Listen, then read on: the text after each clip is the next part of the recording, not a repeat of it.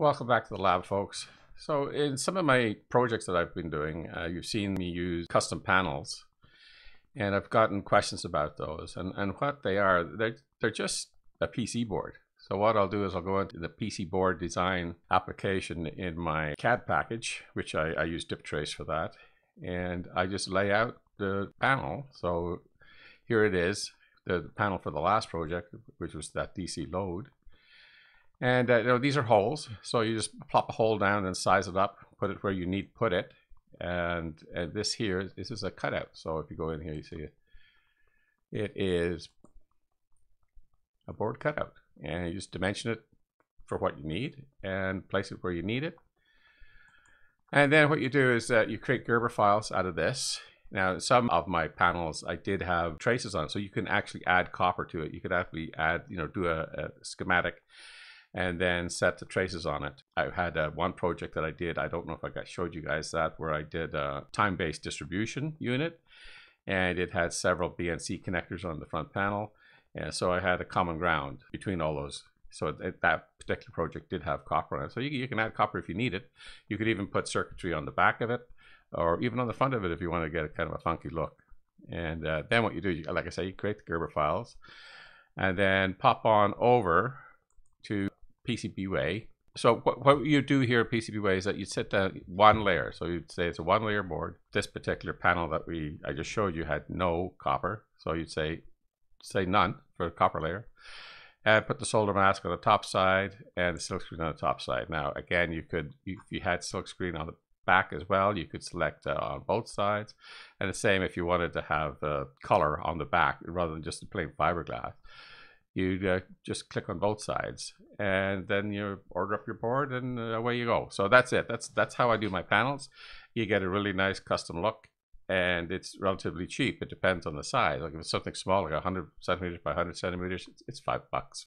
And so you can do the project yourself and then you can share with other people if they want them. So yeah it's a pretty handy way to get custom panels made. All right so what i'm going to do today is we're going to start a new project series and what we're going to do is we're going to work on this here. This is a power supply.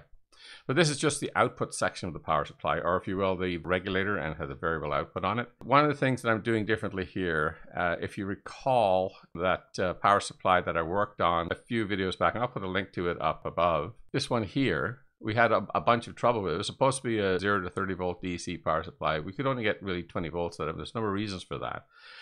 Uh, one was that uh, the way they have arranged things here by using this emitter follower and using a single power supply, uh, they had to run the operational amplifiers at the unregulated input voltage, which uh, with this negative voltage rail down here and the positive voltage rail rising up to about 35 volts, you're putting over 40 volts across the op amps. So we had to bring that voltage down, and then there's a considerable drop across the way the transistors are here because it's an emitter follower Darlington, so you're you're dropping about a, a, volt and a half.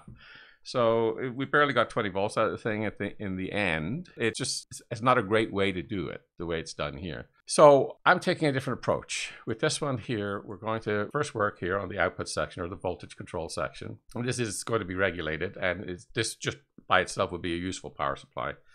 And then we're going to add into it a, a current control and then we'll probably beef up the voltage reference and then maybe add in a, a, little light to show you that it's in current limit mode. We'll add each of those sections as we go along. So it'll be a several stage project beginning with this stage here. And what I'm doing here, so I'm taking the op amp, I'm running it off its own supply.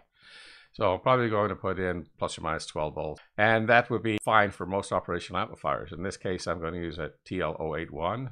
We've got this little uh, voltage reference here. So this is coming off the already regulated supply that'll be coming in plus 12. Uh, Zener diode uh, then is going to actually be a pretty good voltage reference. So what I'm doing is here, this uh, NPN transistor is then going to turn on this PNP transistor.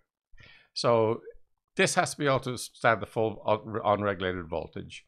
This has to be able to stand the voltage difference between the input and output. The same with the, the transistor here, the big 2N3055 up here, which is going to be the pass transistor. The reason I've got it like this on a, a connector here is because it's going to be off board on a heatsink. So this this resistor, this resistor here kind of gives a, a little bit of negative feedback going into the emitter of, of this transistor. And then we put in this resistor here to provide a little bias to just to keep things stable at low output voltages. And uh, a 47 UF capacitor on the output here. Uh, all those are for stability purposes. So this thing is to turn into a high-powered oscillator on us. So this voltage divider here uh, sets the gain of the output section. So uh, in this case, it's about 5.7 to 1. That means if we if we have a, a, volt coming in into the op amp, we're going to get about 5.7 volts out. In total, since we have a, a reference that goes up to 5.1 volts, we get about 28, 29 volts out of this thing maximum.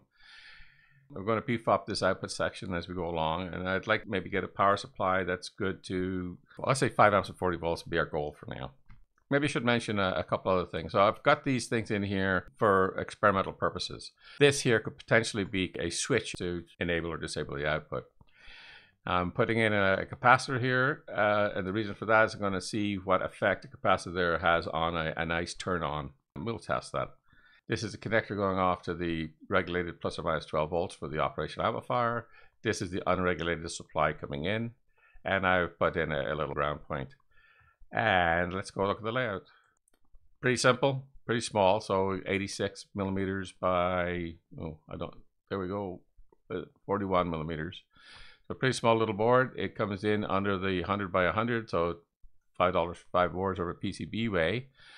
Here's the unregulated supply coming in. I'm using these big copper pours here to handle the current. So the unregulated comes in here, goes through the pass transistor and comes out the output. And this here is a connector for the pass transistor, which as, as I said previously will be off board. Here's your op amp power coming in. And we have here the voltage control. That's also off board. I'm going to send this off to PCBWay today. We'll get them to build it up for us. And when it comes back in, we'll build one up of these and we'll put it through some tests and uh, figure out whether or not we're heading down the right road here.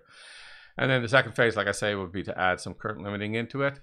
And then, you know, we might, we may or may not, but we might spruce up the voltage reference a little bit by putting in a, an operational amplifier or a TL431 or something of that nature. Anyway, folks, uh, thanks for coming out. That's all I have for you today. We'll see you in the next video. And thanks again to PCBWay for making this project a possibility. Bye-bye, folks.